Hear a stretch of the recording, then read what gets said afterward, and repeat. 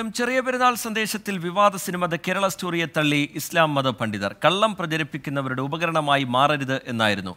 പാളയം ഇമാം V P Suhaib മൗലവിയുടെ പ്രസംഗത്തിലെ പരാമർശം. സിനിമ പ്രദർശിപ്പിച്ചാൽ തകരുന്നതല്ല കേരളത്തിലെ മതേതരത്വമെന്ന് കെ എൻ എം ഉപാധ്യക്ഷൻ ഹുസൈൻ മടവൂരും പറഞ്ഞു.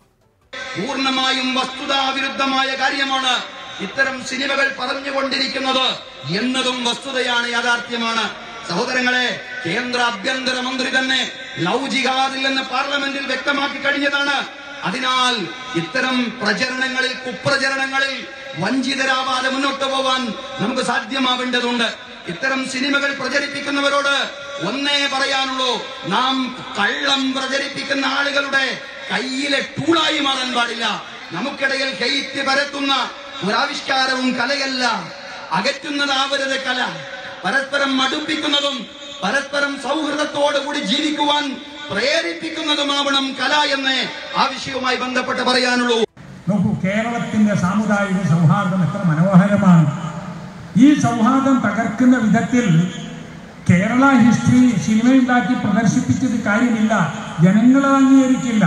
നമ്മൾ ദുഃഖത്തിലും സന്തോഷത്തിലും നമ്മൾ ഒന്നാണ്. കേരളത്തിന്റെ ഹിസ്റ്ററി അതാണ് real history there is love but no jihad അത് ലവ് ജിഹാദ് എന്നൊരു സാധനം ഉണ്ടാക്കിയെടുത്തു ദർ ഈസ് ലവ് അത് ശരിയാണ്. അത് ജാതിയും മതവും ഭാഷയൊന്നും നോക്കാതെ വൻകര പോലും നോക്കാതെ പ്രേമം നടക്കുന്നുണ്ട്.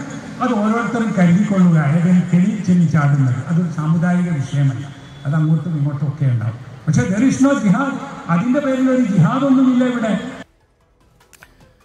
തലശ്ശേരി അതിരൂപതയുടെ നിർദ്ദേശം തള്ളി വിവാദ cinema the Kerala story K C Y M പ്രദർശിപ്പിച്ചു. സിനിമ പ്രദർശിപ്പിച്ചതിന് ഇടുക്കി രൂപതയെ പിന്തുണച്ച് ബി ജെ പി മുഖപത്രത്തിൽ ലേഖനവും പ്രസിദ്ധീകരിച്ചു. സജോ ദേവസ്യ ചേരുന്നുണ്ട് വിവരങ്ങളുമായി കണ്ണൂരിൽ നിന്ന്. സജോ വിവാദ സിനിമയ്ക്കെതിരെ എൽ ഡി എഫും യു ഡി എഫും മുസ്ലിം മതനേതാക്കളും ഒക്കെ വിമർശനം തുടരുന്നതിനിടയിലും മറുവശത്ത് നിലപാടിൽ മാറ്റമില്ല എന്ന് ക്രൈസ്തവ സഭാ നേതൃത്വം സംഘടനകൾ വ്യക്തമാക്കുന്നു. ഇന്നലെയും അത് പ്രദർശിപ്പിക്കുന്ന നിലയിലേക്ക് കെ സി വൈ എം പോയി. എവിടെയാണ് ഈ വിവാദം ചെന്നെത്തി നിൽക്കുന്നത് സജു?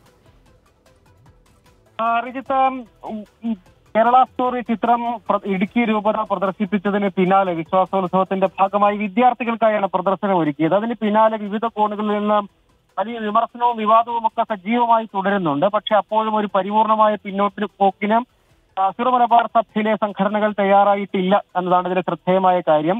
ഇടുക്കി രൂപതയ്ക്ക് പിന്നാലെ താമരശ്ശേരി രൂപത ചിത്രം പ്രദർശിപ്പിച്ചിരുന്നു. അതിന് പിന്നാലെയാണ് തലശ്ശേരി അതിരൂപതയുടെ കെ സി വൈ എം രൂപത സമിതി ചിത്രം പ്രദർശിപ്പിക്കുമെന്ന് പ്രഖ്യാപിച്ചത്. പക്ഷെ പിന്നാലെ രൂപതാ നേതൃത്വം പള്ളികളിലെ ഔദ്യോഗിക സംവിധാനങ്ങൾ ഉപയോഗിച്ച് ചിത്രം പ്രദർശിപ്പിക്കുന്നതിന് വിലക്ക് ഏർപ്പെടുത്തിയിട്ടുണ്ട്. ചിത്രം നിർമ്മിച്ചവരുടെ രാഷ്ട്രീയത്തിനൊപ്പം നിൽക്കാനില്ല. തിരഞ്ഞെടുപ്പ് കാലത്ത് അങ്ങനെ ഒരു വിവാദം ഉണ്ടാക്കാൻ ഉദ്ദേശിക്കുന്നില്ല. ഔദ്യോഗിക സംവിധാനം ഉപയോഗിച്ച് ചിത്രം പ്രദർശിപ്പിക്കില്ല എന്നും വ്യക്തമാക്കിയിരുന്നു. പക്ഷേ ഈ വിലക്ക് മറികടന്നാണ് എസ് രൂപത സമിതിയും കണ്ണൂർ ചെമ്പന്തൊട്ടിയിലെ സെന്റ് ജോർജ് പള്ളിയുടെ പാരീഷ് ഹാളിൽ ഇന്നലെ രാത്രി എട്ട് മണിക്ക് ഈ ചിത്രം പ്രദർശിപ്പിച്ചത്. അതേസമയം വലിയ വിമർശനങ്ങൾ സി പി ഐ എമ്മും കോൺഗ്രസും ഒപ്പം വിവിധ മുസ്ലിം മത നേതാക്കളും ഒക്കെ അവരുടെ വിമർശനങ്ങൾ പ്രകടിപ്പിക്കുന്നുണ്ട്. ഇതൊരു പ്രൊപ്പകേണ്ട ചിത്രമാണ്. അത് സമൂഹത്തിന്റെ ഇടയിൽ ഭിന്നിപ്പും വിദ്വേഷവും ഒക്കെ സൃഷ്ടിക്കും എന്ന കൃത്യമായ വിമർശനം ഉന്നയിക്കുന്നുണ്ട്. പക്ഷെ അപ്പോഴും സഭകളുടെ ഭാഗത്തുനിന്ന് പ്രത്യേകിച്ച് സീറോ മലബാർ സഭയുടെ ചില രൂപതകളുടെ ഭാഗത്തുനിന്ന് ചിത്രം പ്രദർശിപ്പിക്കാനുള്ള ശ്രമവും അല്ലെങ്കിൽ അത്തരം ശരി സജോ ദേവസ്യ കണ്ണൂരിൽ നിന്ന് വിവരങ്ങൾ നൽകുകയായിരുന്നു.